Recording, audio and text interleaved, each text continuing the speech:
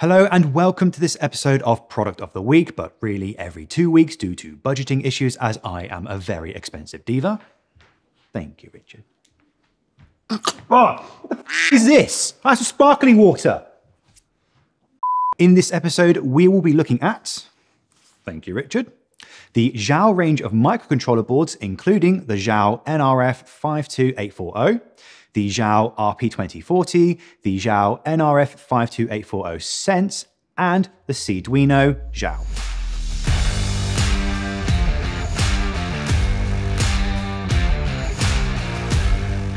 Now, there are a lot of products being featured in this video, but the most important thing to note is that all of these things are Xiao boards. Simply put, that means that they all follow the same form factor, using the same connector cables, I think, and this makes them easy to switch around.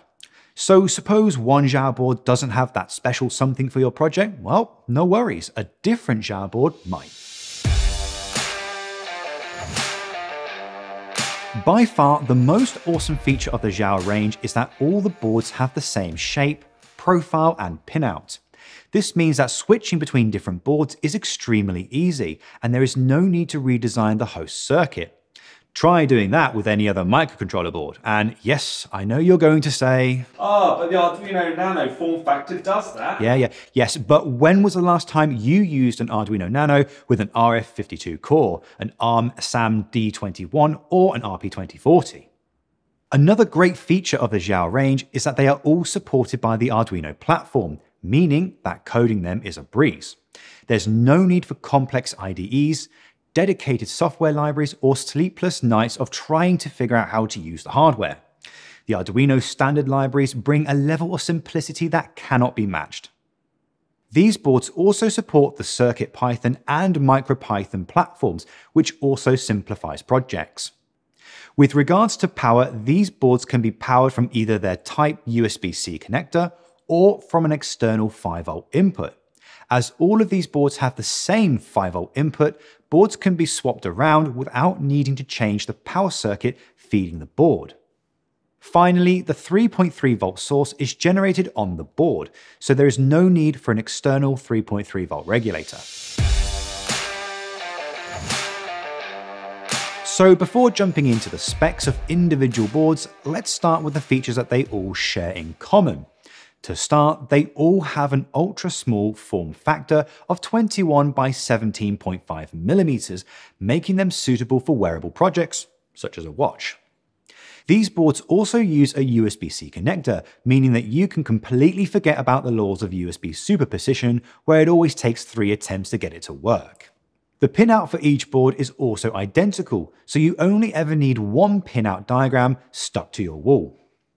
Now, the first board, the Xiao SAMD 21, integrates the SAMD 21G18 microcontroller, which has a 48 MHz processor, 32 kilobytes of static RAM, and 256 kilobytes of flash.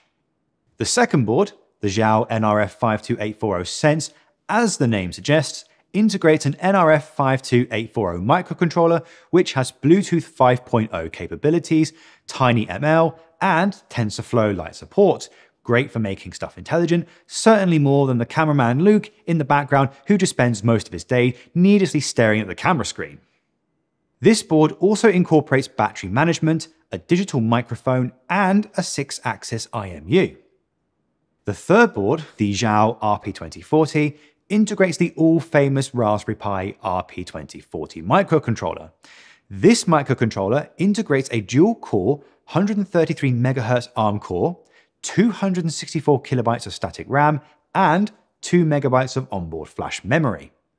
This board has no pin headers soldered onto it, which makes it great for production as these boards can be directly soldered onto a PCB. The fourth and final board is the Xiao NRF 52840. Now, this may seem similar to the other board, but this one doesn't incorporate any additional sensors. Just like the other Xiao boards, this doesn't come with pre-soldered headers, so it can be used with both SMD PCBs and breadboards. The small form factor of these boards makes the Xiao range perfect for any application where space or weight is a virtue.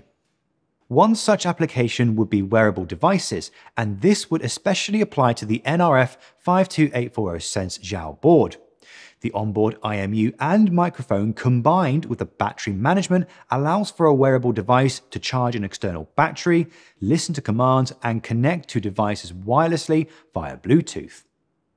Another potential application is remote control devices such as a drone, a plane, a car, or platform of destruction with twin cannons, proximity sensors, and explosive reactive armor. Well, maybe not the last one, but hey, you never know.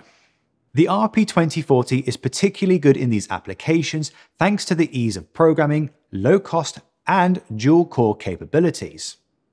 Finally, any project that just wants to reduce the size of its Arduino board can massively benefit from these Xiao boards. Arduinos are fun, but many are rather large, and this isn't always great, especially if a project needs to be shrunk in size for neatness. Of course, the Xiao board has a lot fewer GPIO connectors, but this is a worthwhile sacrifice.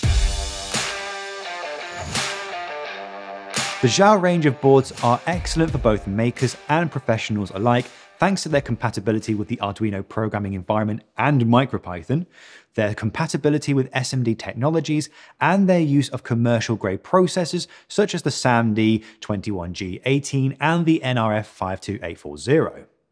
The variety of Xiao boards provides a massive amount of flexibility, while their use of a USB-C connector makes them extremely user-friendly.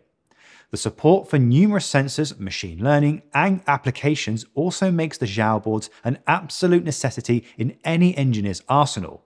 So, if you are looking to get your hands on a few Xiao boards and want to support my unhealthy habit of fast food and non-stop K-dramas, looking at the glory and extraordinary Attorney Woo, then head over to the Electromaker store where you can find all the Xiao boards mentioned in this episode along with all the other parts you could ever need for your ridiculous projects. Thanks for watching, and as the great Scott YouTuber says, I will see you next time.